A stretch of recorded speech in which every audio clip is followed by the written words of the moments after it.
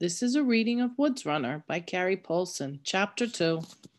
Samuel had returned from the forest the night before and found his parents sipping tea with Isaac, an old man of the forest who stopped by their cabin every few months while he was hunting. This time, though, he had news. He carried information about a fight in Lexington and Concord, Massachusetts, where militia had fired on and defeated British soldiers. The battle had happened months before, all the way back in April of 1775. Isaac seemed to be made entirely of scraps of old leather and rags. He was bald and wore a ratty cap with patches of fur that had been worn away. He was tall and thin, and for many years had lived in a cabin some 20 miles to the east. He was so much a part of the forest that even his brief visits with Samuel's family caused him discomfort. He had decided to move farther into the frontier when a wagon pulled by oxen came into the clearing near his cabin.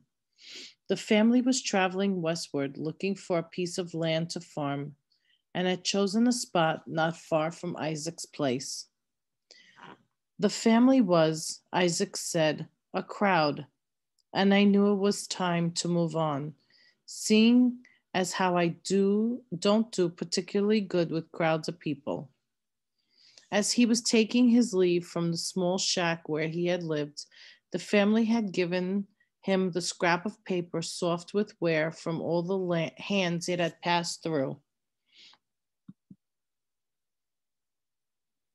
So he could share the news with fellow travelers he met on his journey. They told him of other events they had heard of along the way. He tried to remember the details, but admitted that he wasn't much for conversation. Since there was so much noise from the sprats, as it seemed a dozen of them, my thinker fuzzied up like bull, bad powder, and my recollector might not be all it could be. But I think they said there was another fight at a place called Bunker Hill, and the Patriot militia got whooped there and sent running when they saw the bayonets on the British soldiers' muskets. He sat quietly sipping the evergreen tea he always carried, a brew made from pine and spruce needles. He swore it cured colds and he said he preferred it over foreigner tea from outside. But thank, but thank you, Mrs. The paper he'd handed to Samuel's father, Olin, was a single sheet that had been folded and unfolded so many times it was near to falling apart. It had been printed on a crude press with wooden block letters and was smudged and hard to read but there was a brief description of the fight at Lexington and Concord and a drawing of figures firing muskets at some other figures that were falling to the ground.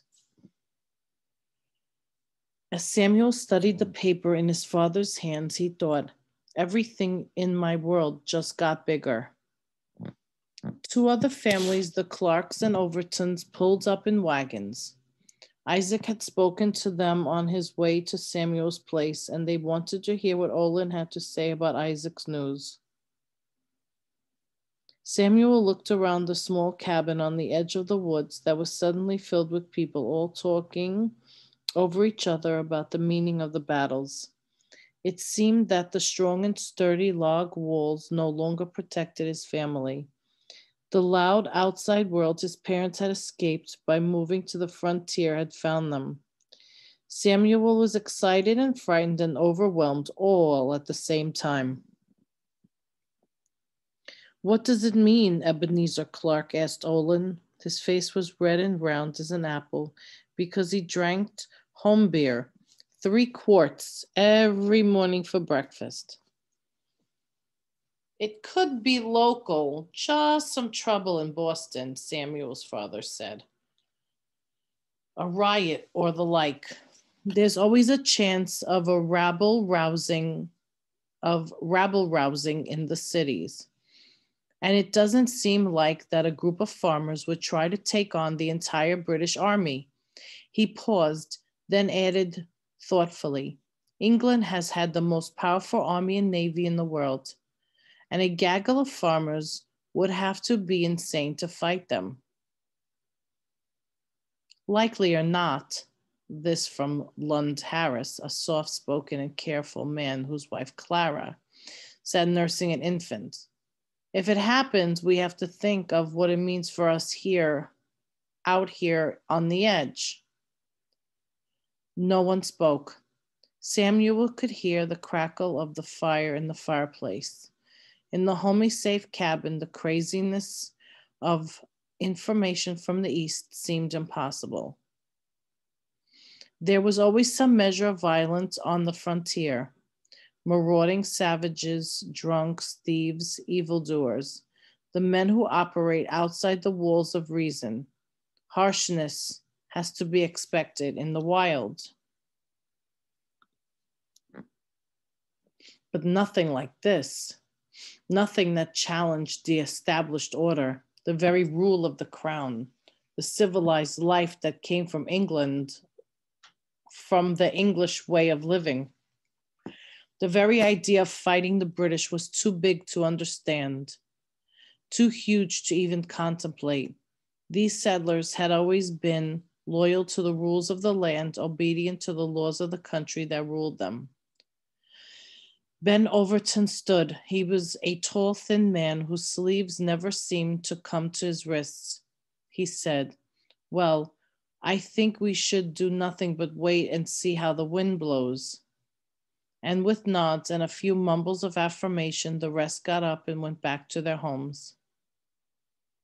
Not a single person in that cabin could have known what was coming, even if they and even if they had seen the future, they would not have been able to imagine the horror. Frontier life.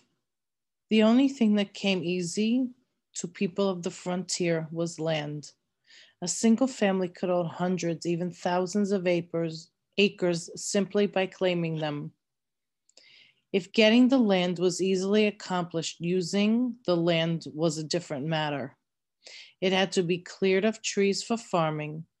Some oaks were five or six feet in diameter, and each had to be chopped down by axe, cut into manageable sections, and hauled off. Then the stump was dug out of the ground, often with a handmade wooden shovel. One stump might take a week or two of hard work, and a piece of land could have tens of dozens of trees. If a family was lucky, they might find the clearing left by beavers, which log off an area and dam a creek to make a lake, rotting out all the stumps. When the trees and food are gone, the beavers leave, the dam breaks down, the water drains off, and there is a handy clearing left where the lake was.